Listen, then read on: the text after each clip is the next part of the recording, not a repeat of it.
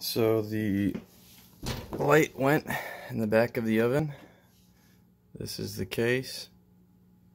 Uh, it seems like it will not unscrew, but it will. You just gotta spin it to the left. There's nothing to it really.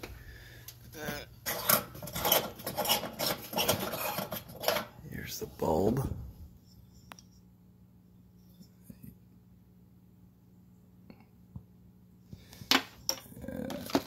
Replace it here with this one.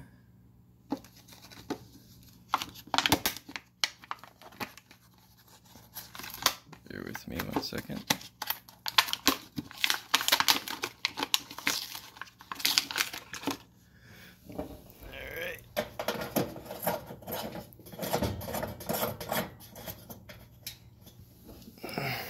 There we go. Hope this helps. The only reason I'm making this video is because this little thing on the back that was up in the back corner was not the most easiest thing to unscrew and I felt like I was going to break it so I just wanted to make a little video so you guys could see not feel like you were going to break it. Uh, so you're just going to turn it to the left. It's it's going to feel like it's going to break but it should be okay.